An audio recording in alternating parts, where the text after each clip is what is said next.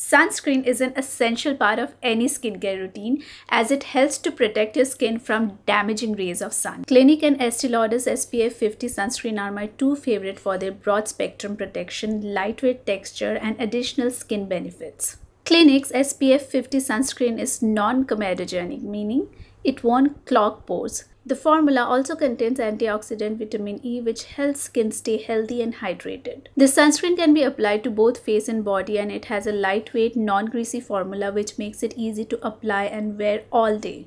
Estee Lauder's SPF 50 sunscreen also contains antioxidants like vitamin E, which helps protect the skin against environmental stressors like pollution. It has a light texture that feels comfortable on the skin and can be worn under makeup. Sunscreen provides a physical and chemical barrier to the sun's ultraviolet rays and helps prevent sunburns, skin cancer, and other skin problems. So start using now. Save this